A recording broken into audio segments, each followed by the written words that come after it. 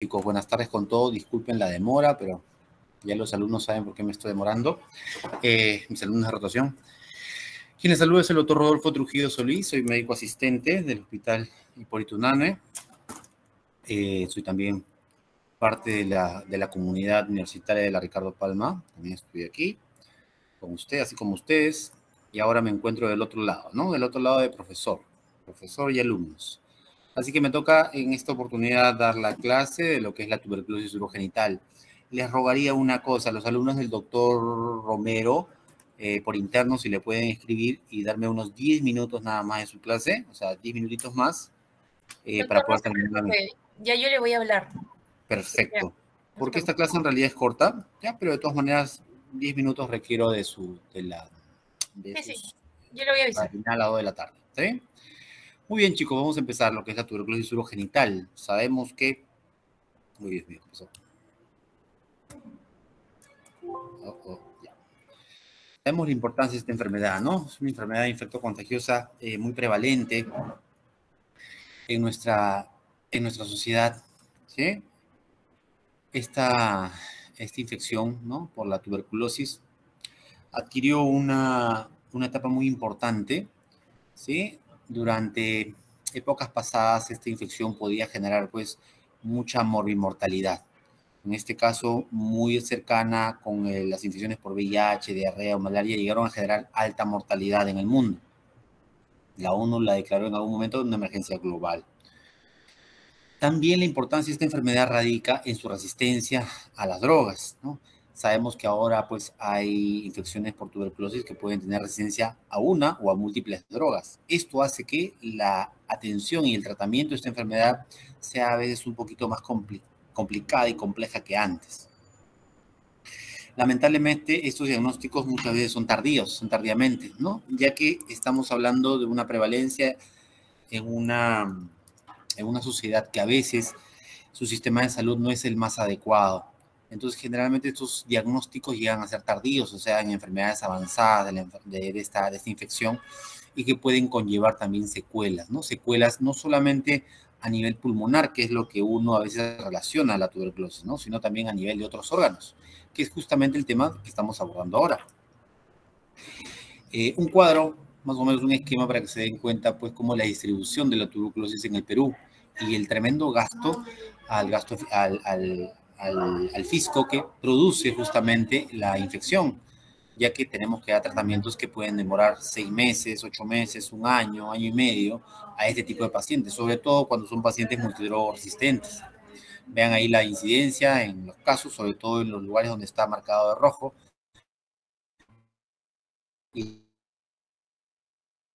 Lima, y dentro de Lima hay distritos, ¿no? Distritos como el Austino, Ate, San Juan de Lurigancho abarca gran cantidad de grupo de prevalencia de estos casos. Como ya les dije, no solamente la prevalencia, sino la alta incidencia también hace que este tratamiento o este, esta infección sea de difícil tratamiento.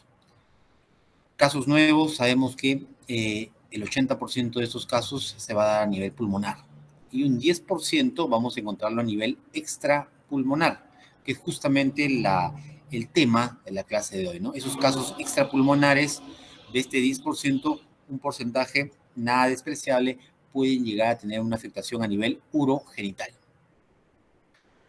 Conozcamos un poquito las características del Mycobacterium tuberculosis. Sabemos que pues, es un bacilo ácido alcohol resistente de un tamaño bastante, bastante pequeño, 0.5 por 3 micras.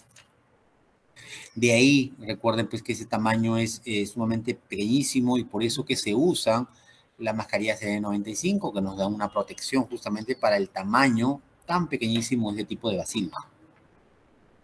Es aerobio estricto, obviamente necesita pues oxígeno, es muy resistente al, al, frío y a la desecación. Lo bueno es que también es sensible al calor y a la luz solar y a la luz ultravioleta. Entonces por ahí tenemos una ventaja, sobre todo en lugares donde se concentra una gran cantidad de este tipo de casos. Han visto en los hospitales que a veces tienen como una especie de tragaluz, ¿no? Arriba en los techos. Y esto eh, en el pasado servía y hasta ahora sirve para que pueda la luz ultravioleta, la luz solar ingresar a los ambientes y poder generar pues un control de ese tipo de infecciones. Es rápidamente, se multiplica de 16 a 20 horas en condiciones ideales de oxígeno, recuerden, ¿no? Es aerobia estricta. Están inmóviles y no producen endoesporas ni toxinas.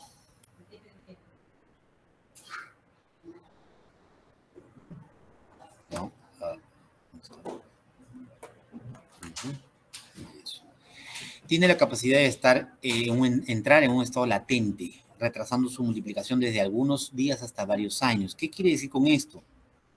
Que un paciente puede haber tenido tuberculosis en un momento determinado y pasar mucho tiempo para que esta tuberculosis, de lo que ha estado encapsulado de repente en un complejo primario, focalizado en una zona del pulmón, pueda liberarse y pueda generar una diseminación no solamente al pulmón, sino también a otros órganos. En este caso, los órganos del aparato urinario pueden verse comprometidos después de muchos años de haberse infectado por tuberculosis. O sea, de haber tenido una prima infección por tuberculosis, pueden pasar años, 20, 30, 40 años, para poder recién generar quizás una infección por eh, tuberculosis en la vía urinaria tenemos una clasificación de tuberculosis urogenital, tenemos una tuberculosis netamente urinaria, es decir, que afecta al riñón, nefrotuberculosis, que afecta también al tracto urinario, que es la tuberculosis del tracto urinario per se.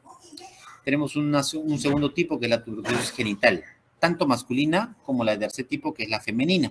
O sea, afecta enteramente órganos masculinos o afecta netamente órganos femeninos. En el caso de la mujer, el órgano que más se afecta son las trompas.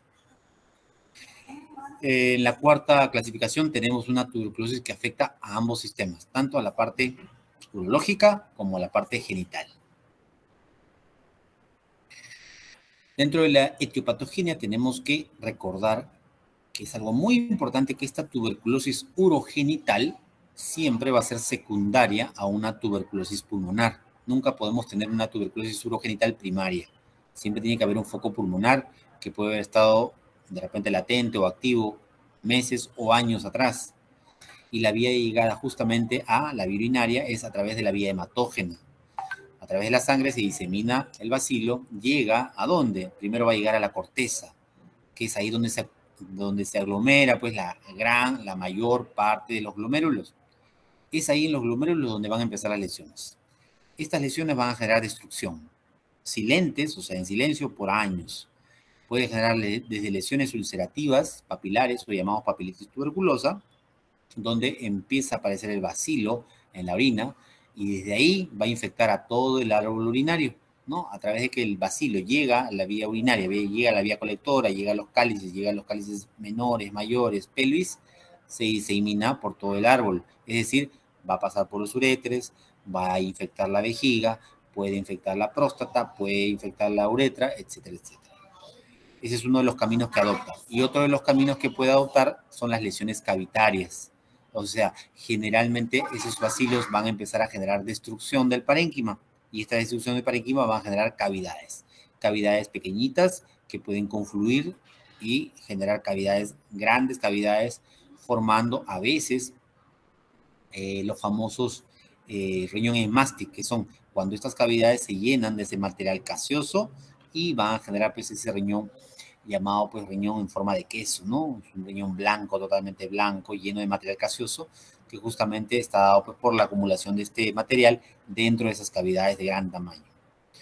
¿Cómo se producen esas lesiones? Obviamente los vacilos ingresan a los túbulos, son atrapados en las asas de Henle y es ahí donde va a empezar la formación o la destrucción de, estas, de este parénquima generando la formación de estas cavernas, ¿no? Las lesiones, como les dije, pueden comprometer todo, todo lo que puede venir de la vía urinaria, el ureter, vejiga, uretra, próstata, hasta vesículas seminales. Este tipo de diseminación, a diferencia de la diseminación hematógena, que es donde llega primeramente el riñón, la diseminación que compromete o que va infectando al ureter, vejiga, próstata, vesículas, se da por un mecanismo o por una vía que se llama canalicular descendente. Ojo, pregunta de examen, ya le dije a una fija, pregunta de examen, ¿no? La diseminación del árbol urinario se va a dar por vía canalicular descendente y la diseminación a nivel renal se va a dar por la vía hematógena. Entonces, como les dije, antes de que llegue al epididimo, va a llegar primero al riñón, a través de la vía hematógena, ¿sí? La localización genital en el hombre el órgano más común que se siente comprometido es el epidídimo, ¿no? Y en la mujer a nivel de las trompas, localizaciones muy frecuentes. Cuando esta diseminación afecta al uréter, va a generar una cicatrización formando fibrosis. Y esta fibrosis puede disminuir el lumen, el calibre de una estructura tubular como es el uréter, llegando pues a generar una estenosis total. Como saben, mis alumnos lo saben, el uréter más o menos mide entre 4 a 8 milímetros, ¿no? En unas zonas más, en otras zonas menos. Pero si a esto le, añadimos una infección que va a generar fibrosis, vamos a generar pues que este lumen se cierre casi completamente, generando que una uropatía destructiva, generando hidronefrosis, generando también eh, estados en los cuales se puede perder la función del riñón. Lo que es tuberculosis vesical, aquí vamos a tener cuatro estadios. Una etapa 1, donde vamos a encontrar un tubérculo infiltrativo. Generalmente pasa desapercibido, pasa a veces confundiéndose con cuadros inflamatorios de la vejiga, una cistitis, una trigonitis. En la etapa 2 hay erupciones ulcerosas, hay úlceras, ¿no? Formadas justamente por la infección por tuberculosis en la mucosa. Aquí también a veces el, diagnóstico se confunde, ¿no? Como, como les dije con los primeros diagnósticos. En la etapa 3 vamos a encontrar ya una cistitis espástica, es decir, la vejiga se contrae, se contrae, se contrae mucho, eh, dando falsos diagnósticos, como por ejemplo una infección urinaria o dando pues una vejiga hiperactiva. Entonces confundimos a veces el diagnóstico. Por eso que este, tipo de enfermedades son de difícil tratamiento porque generalmente el diagnóstico es tardío. Entonces, a veces se maneja a estos pacientes como una vejiga hiperactiva, por ejemplo, ¿no? Se le da tratamiento durante meses, durante años. Cuando llegan o pueden llegar a una etapa 4 en la cual pues la microcistitis es tan marcada que llega a generar una fibrosis, una fibrosis completa de la vejiga. Y por ende, pues, la obliteración de esta, generando lo que le llaman una microvejiga. en, los tres, en las tres primeras etapas de ser diagnosticadas, tenemos que manejarlo como si fuese una tuberculosis estándar con tratamientos antituberculosos. Pero en la cuarta etapa, cuando ya encuentre una microcistitis o una microvejiga, el tratamiento ya es cirugía. ¿Qué es lo que hay que hacer? Una cistectomía, es decir, retirar esa vejiga que ya no tiene función, que se ha fibrosado completamente, que puede ya no funcionar eh, generando pues una buena, un buen llenado de la vejiga, se retira y se le reemplaza con un tejido que viene del ilio. ¿ah? Se le hace una enteroplastía, o sea, a través del, del tejido intestinal se crea nuevamente una neovejiga. En vejiga, las lesiones granulomatosas miliares pueden estar alrededor de los meatos a nivel del trígono y van a generar disuria. Con esto pueden confundirse, como les decía en un inicio, con infecciones urinarias, cuadros de cistitis, trigonitis. Es por eso que la tuberculosis la llaman la gran simuladora. En los meatos ureterales, cuando se inflaman, generan fibrosis. Al tener fibrosis, estos van a empezar a retraerse, ¿no? La fibrosis empieza a retraer el tejido y por ende se abren los meatos. Cuando ustedes tengan la oportunidad de ver un meato a, través de una cistoscopía, van a, van a ver que son estructuras así fusiformes, jaladas. En esos casos, cuando hay esta infección, estos meatos se retraen y se abren. Se abren tanto que dan la impresión como si fuesen meatos en hoyo de golf, que es una de las características, ¿no? Que se encuentran pues son meatos abiertos, ¿no? Se ven claramente que son como hoyos abiertos, dilatados. En vejiga, como ya le dije, cuando hay fibrosis extensas en todas las paredes de la vejiga, puede llegar a una microvejiga. Es decir, una vejiga que ya no tiene la capacidad de distenderse y por ende su almacenamiento de la orina se reduce. Hay microvejigas tan, pero tan marcadas que pueden llegar pues a 40, 50, 60 centímetros cúbicos de orina nada más. Entonces con esto el paciente ya va al baño y orina. Entonces genera pues una gran sintomatología urinaria, ¿no? Importante este concepto, no es necesario que la tuberculosis pulmonar primaria haya sido aparatosa para esperar lesiones urinarias en un futuro. Ojo, el paciente no, no necesariamente pues ha sido un, paciente que ha tenido una enfermedad pulmonar importante, que ha estado hospitalizado, que de repente pues haya tenido pues sangrado, hemoptisis, etcétera, etcétera. A veces basta con una primo-infección, es decir, el paciente puede haber tenido una primo-infección pulmonar, un contacto de repente por ahí, en la cual llegó el vacilo a su pulmón y se quedó, se quedó un complejo primario, y de ahí pueden pasar muchos años para que eso de ahí se active y se disemine nuevamente por la vía hematógena y pueda llegar a la vía renal. ¿Qué elementos de diagnóstico tenemos, chicos? Sabemos, pues, los elementos clínicos, que lo vamos a ver ahora. Existen algunos exámenes de laboratorio, radiológicos, inmunológicos, histológicos, etcétera, etcétera, que usamos como herramienta para el diagnóstico de este tipo de enfermedades. Dentro de la clínica vamos a tener que estos pacientes ah, generalmente tienen menos de 50 años, el periodo latente va desde los 10 hacia los 40 años. Miren, un periodo latente muy alto en años. Pregunta de examen, ojo. 20% de estos pacientes son asintomáticos al diagnóstico, es decir, pues el, el, diagnóstico a veces se encuentra de manera incidental o cuando ya vemos que estos tratamientos que le damos habitualmente no mejoran la sintomatología del paciente. La forma habitual de presentación, ¿cómo es? Paciente con cistitis crónica. ¿no? El típico paciente con cistitis crónica que tiene síntomas urinarios, que va cada rato al baño, que siente que le arde, que le quema, le fastidia, todos los síntomas de un cuadro infeccioso, pero que con tratamiento no mejora. Pues ahí siempre hay que ampliar la anamnesis, preguntar, ¿ha tenido contacto con pacientes con tuberculosis, de repente un familiar?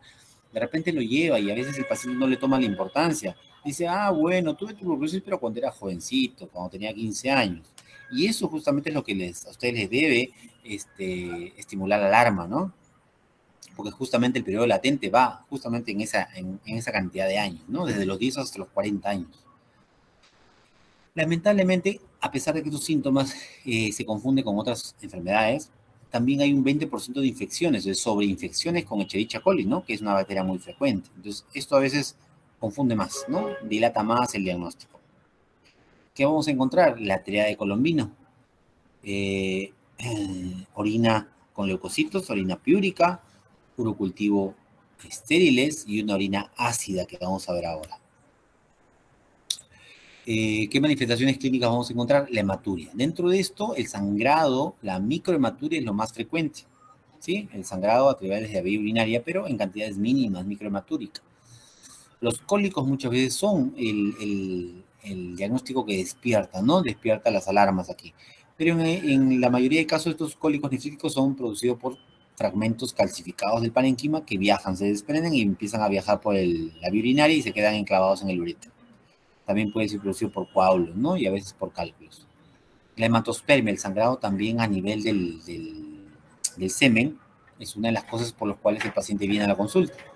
A veces no tiene ninguna sintomatología, lo único que les llama la atención es que viene y te dicen, doctor, ¿sabes qué? Cuando eyaculo, eyaculo con una gotita de sangre, ¿no? En el semen veo una manchita de sangre. Eso es el único síntoma que manifiesta el paciente. Astenia, anorexia, adelgazamiento son síntomas generales que lo puede tener cualquier infección, por, en este caso por tuberculosis. La pionefrosis febril y tóxica es raro, pero todavía se puede dar. Eh, eh, dentro del examen físico, hay pocos elementos orientadores, pero dentro de estos pocos elementos tenemos algunos que tenemos que tener muy presentes. Los nódulos, los nódulos a nivel del epididio.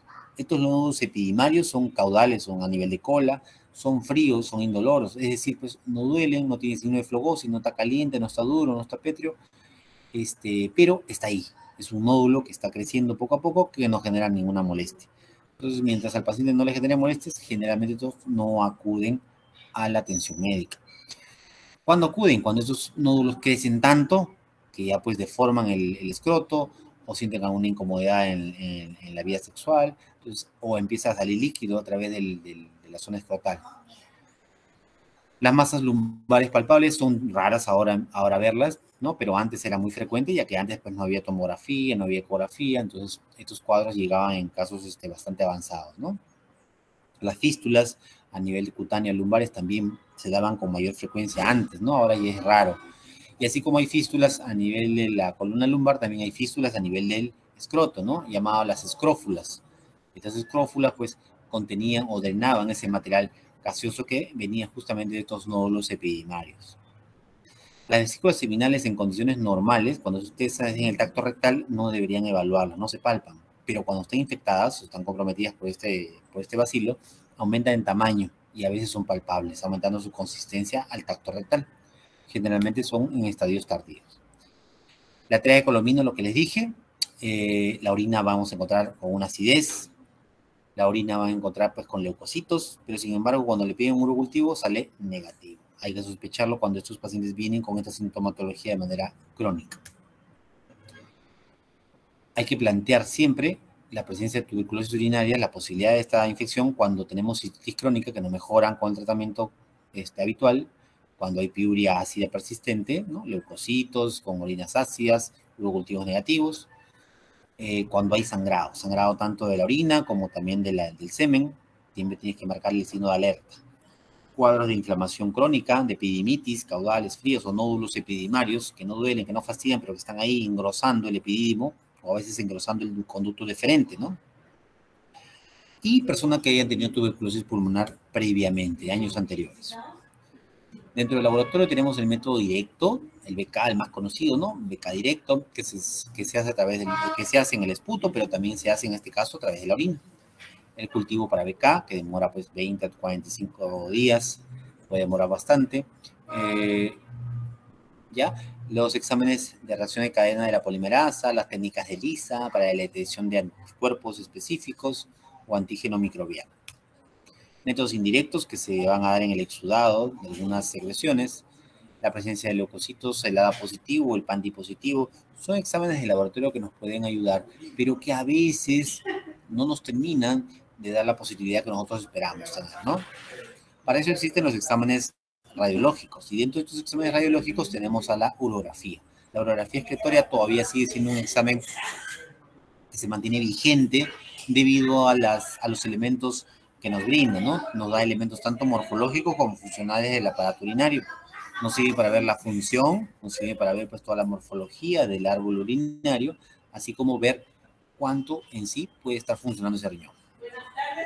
El diagnóstico de secuelas post-tratamiento de segunda enfermedad también nos puede ayudar cuando tenemos una buena urología excretoria aproximadamente el 95% de estos pacientes van a tener alguna alteración a nivel de la urografía excretoria. ¿Sí? Entonces, un buen examen puede hasta darnos hasta un 95% de alteraciones en estos pacientes. El hallazgos frecuentes que podemos encontrar es la anulación funcional de un riñón. ¿sí? También podemos evaluar la capacidad que tiene la vejiga en su llenado. Podemos también encontrar calcificaciones que pueden ser finas o más grandes a nivel del riñón, que nos puede dar pues un panorama un poquito más amplio de cómo se encuentran estos pacientes.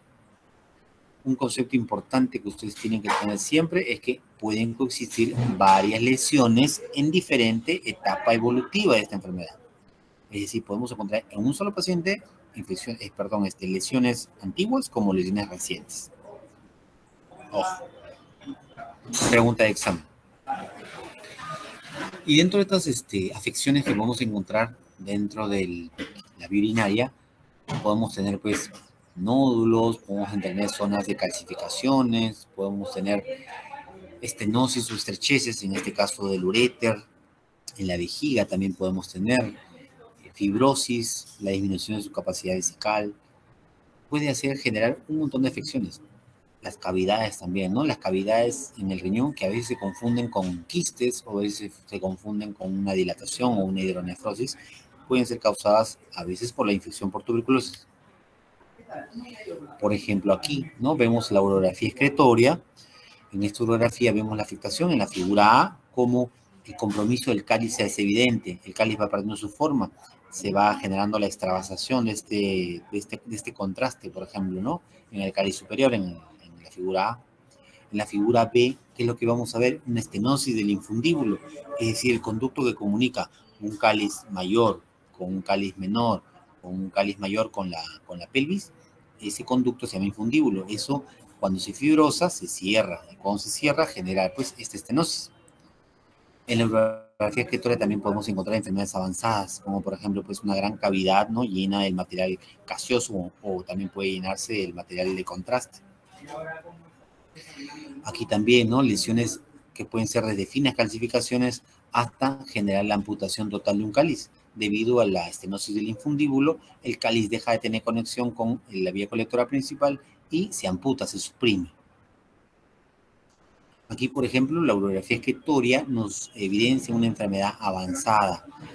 Ustedes en condiciones normales, cuando ustedes tengan la oportunidad de ver una urografía normal, van a ver que el uréter está como que cortado en varios segmentos.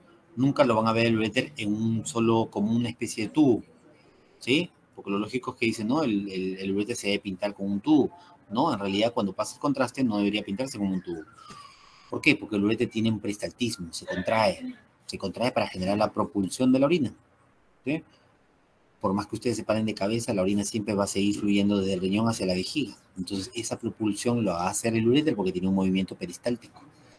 Entonces, cuando le toman una foto un uréter que está con contraste, se va a ver por unos lados, por unos segmentos, se va a ver pues la amputación del uréter, o sea, no se va a ver el uréter, y por otros lados sí se va a ver el paso del contraste. Justamente eso es normal. Pero en este caso ven el uréter dibujado prácticamente en toda su extensión.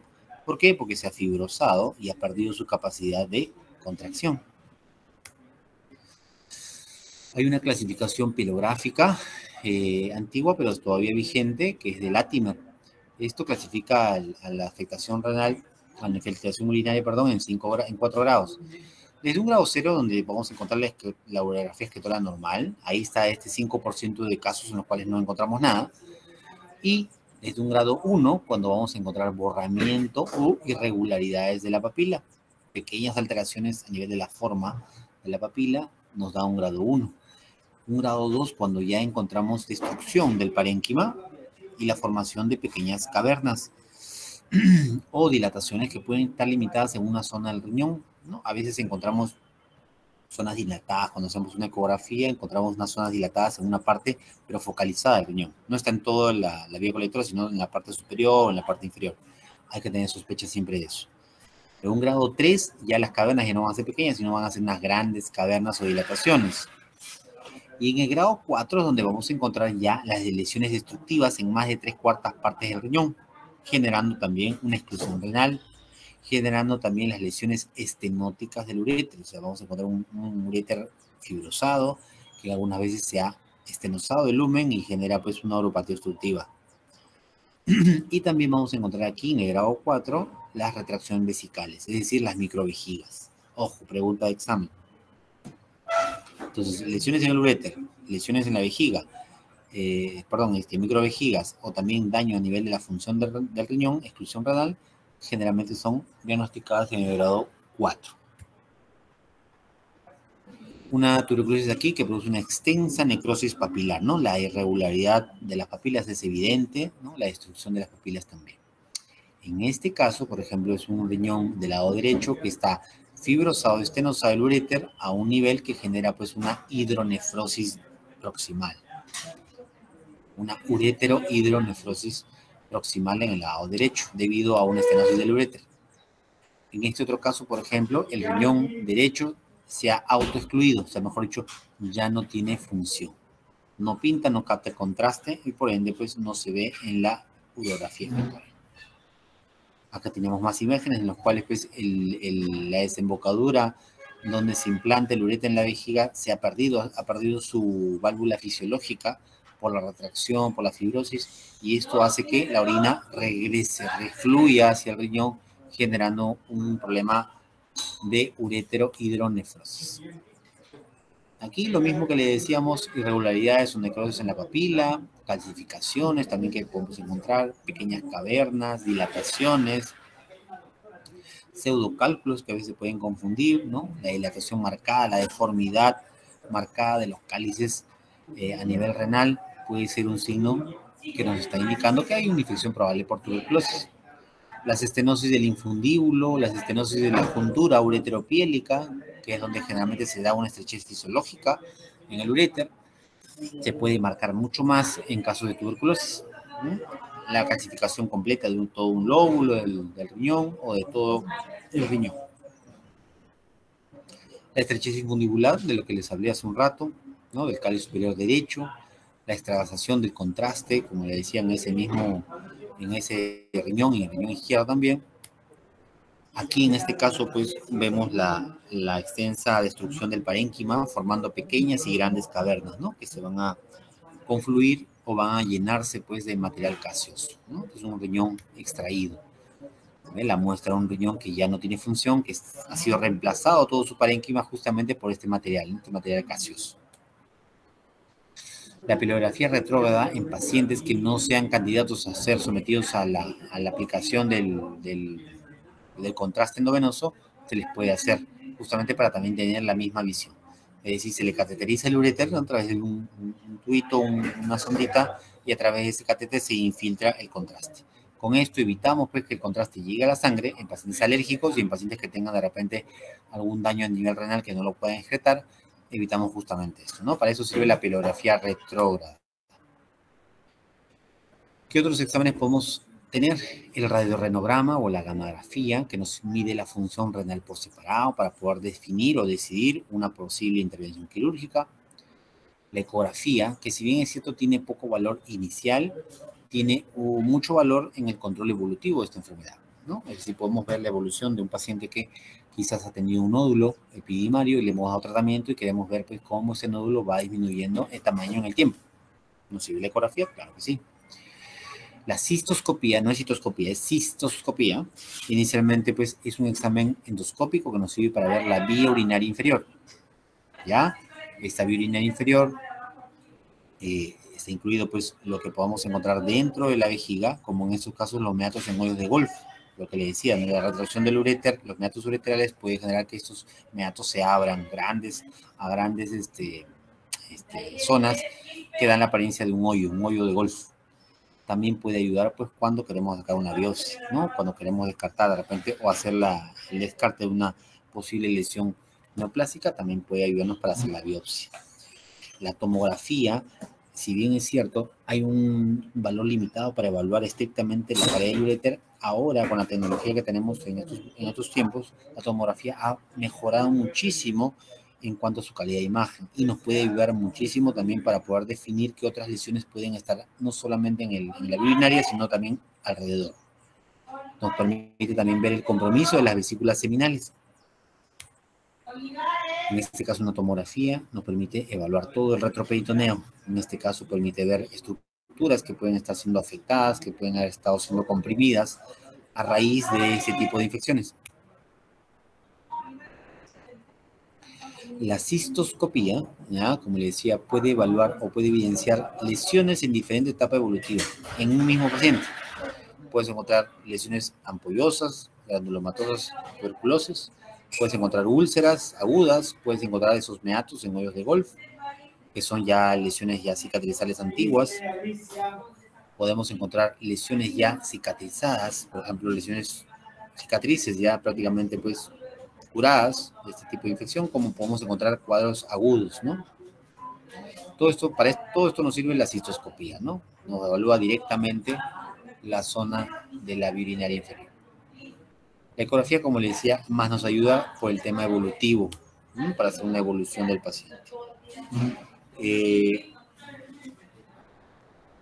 dentro del diagnóstico diferencial tenemos cuadros de cistitis crónica, cuadros inflamatorios, ¿no? Que como ya le dije, no mejoran con tratamiento, con tratamiento médico, no van mal en cuanto a la evolución.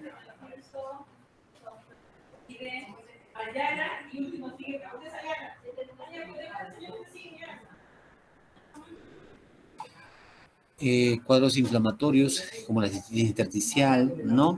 Cuadros de hidronefrosis congénitas, hay que siempre tener el diagnóstico diferencial, ¿no? Alteraciones quísticas que se confunden a veces con estas cavidades a nivel del riñón, pelonefritis crónicas de larga evolución, siempre hay que tener como diagnóstico diferencial ese tipo de enfermedades. Dentro de las complicaciones, ¿qué vamos a generar? Las estenosis, ¿no? Generalmente la fibrosis produce estenosis. Y acá estamos hablando de estructuras tubulares como la uretra. Puede generar una estenosis de la uretra, puede generar también eh, la producción de abscesos ¿no? en la vesícula seminal o también en la próstata, que tienen que ser drenados. ¿Por qué? Porque pueden desarrollar problemas de cuadros de infertilidad. Recordamos que a nivel de la próstata pasan los conductos eyaculadores, ¿no? Si estos se fibrosan debido a la infección, obviamente vamos a generar problemas en lo que es pues la formación y el contenido del semen. Dentro del testículo y del epidimo tenemos cuadros inflamatorios de epidimitis que pueden fistulizarse, como le decía, pues producir lo que es este, las escrófulas y también por ende producir infertilidad. El tratamiento, dentro del tratamiento, el estándar, que es de seis meses, tenemos pues los fármacos que se utilizan para lo que es la tuberculosis, ¿no? Se maneja como un paciente con tuberculosis estándar. Tenemos una primera fase, tenemos una segunda fase que puede prolongarse hasta ocho meses o un año o año y medio, en los cuales pues tenemos que estar siendo o visto eh, la supervisión. Generalmente en urología los urólogos no damos el tratamiento, generalmente eso lo dan en el programa de control de la tuberculosis que está liderado por los neumólogos. Tener siempre consideración que estos fármacos antituberculosis, eh, tener cuidado en pacientes que usen corticosteroides, en pacientes gestantes por sus efectos teratogénicos y en pacientes con insuficiencia renal por sus efectos nefrotóxicos. Ojo. Pues a veces hay que titular la dosis, hay que distanciarla para poder no generarle un mayor daño. Dentro de estas drogas, como ustedes ya lo saben, pues están las quinolonas, los amiloglucósidos, betalactámicos, macrólidos, y en el tratamiento médico también tenemos que tener presente los pacientes multidrogoresistentes. En estos casos, el esquema de tratamiento varía y se puede ampliar hasta 18 meses. Estamos hablando de año y medio de tratamiento. Dentro del tratamiento quirúrgico, como ya les dije, la tuberculosis cura mediante la cicatrización y retracción. Es decir, estos procedimientos quirúrgicos están reservados para el manejo de las secuelas. Es decir, primero se le da tratamiento médico estándar y una vez que se dé el tratamiento estándar, se ve cuáles son las secuelas que ha generado esta enfermedad. Y está el objetivo del tratamiento quirúrgico es conservar los órganos y preservar la función adecuada de los mismos.